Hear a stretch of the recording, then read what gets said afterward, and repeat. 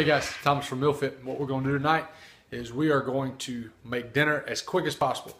We've got a pork tenderloin. We're going to put it in a crock pot. We're going to season it up really, really nice. Got some sweet potatoes. We're going to take the crock pot pork tenderloin.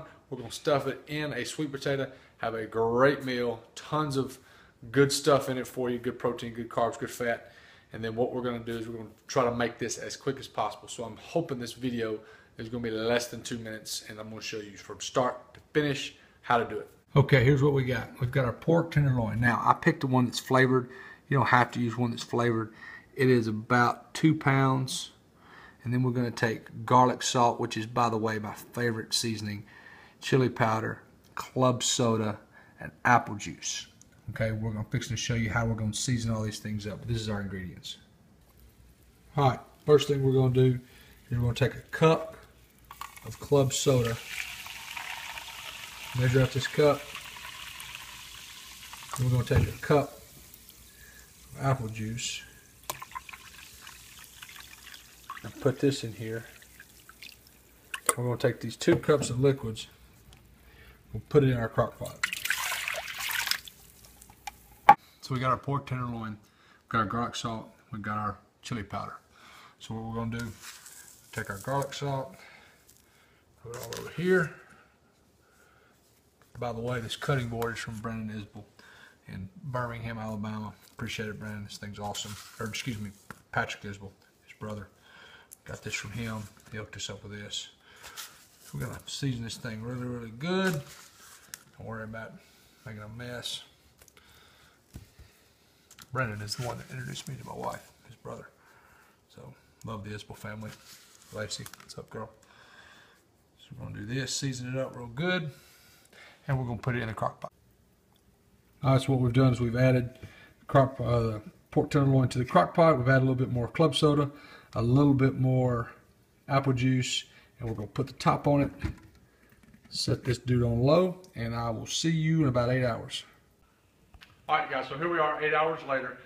The pork loin's about ready to get out of the crock pot. So what we're going to do is we're going to get our potatoes ready.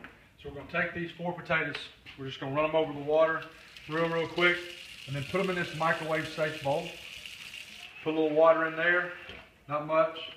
I'm gonna take a plate, I'm gonna put it on the top of the bowl.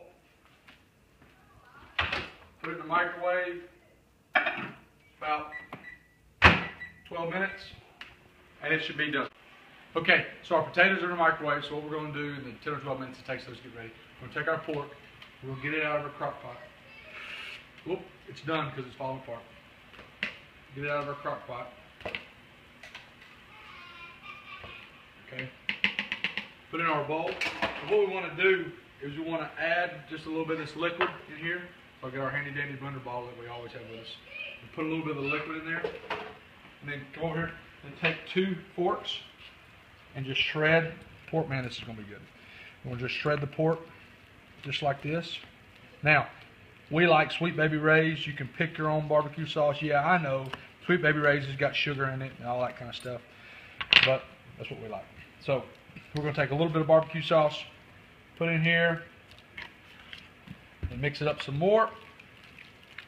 And then when our potatoes get ready, we will finish it up. Okay, so we've got our potato out. We've got our um, uh, pork. What we're going to do is just going to cut open like this. Open up our potato, still hot. We're going to smash it there a little bit. Put our pork in here. Okay. If you want to, you can add some more barbecue sauce. If not, no big deal. Here you go. You can top it with some cheese, anything like that. But this is what we got for dinner tonight. It's going to be real good. Hey, if you got any questions at all, email us, thomas at mealfit.co. Check out YouTube, Twitter, Instagram, all those types of things. Look forward to seeing you next time.